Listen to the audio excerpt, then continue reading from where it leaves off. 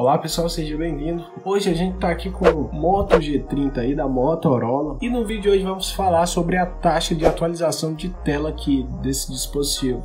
Nós sabemos que esse dispositivo ele foi anunciado com uma taxa de 90 Hz, ou seja, mas não é todo o tempo que ele utiliza 90 Hz não. E hoje a gente vai descobrir aí quanto ele utiliza geralmente. Então pessoal, já deixa o like aí, se inscreve no canal, ativa o sininho, bora pro vídeo.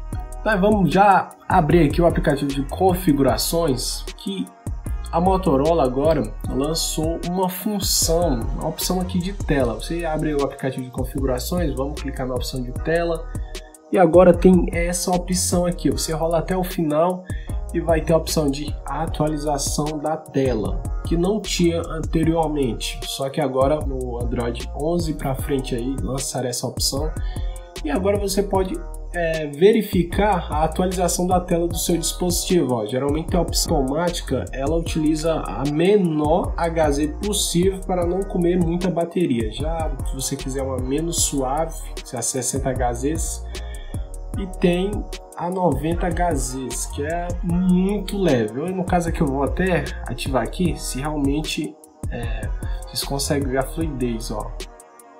Mas realmente, pessoal, a gente, ó, 90 Hz é outro muito leve mesmo, realmente. Não é a mesma coisa do automático. O automático você até rápido, só que aqui é muito suave. 90 Hz é da hora, viu? Só que essa opção ela consome bastante bateria, então não é muito indicado geralmente você estar tá utilizando 90 Hz direto, porque senão sua bateria vai ó pro ar. Então aconselho você deixar na opção automática mesmo. Que se por acaso você tiver, ah, eu jogo um jogo que tem que rodar em 90 Hz, senão eu sou ruim.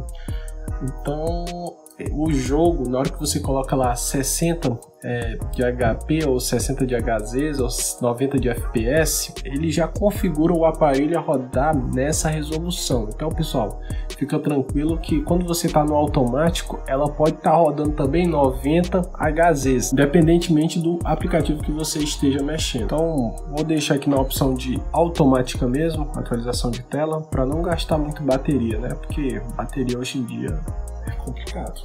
Então, pessoal, valeu. Espero que vocês tenham curtido o vídeo aí. Qualquer dúvida aí, deixa nos comentários. Em breve a gente pode estar tá respondendo aí com algum vídeo a respeito aí da sua dúvida. Valeu e até a próxima.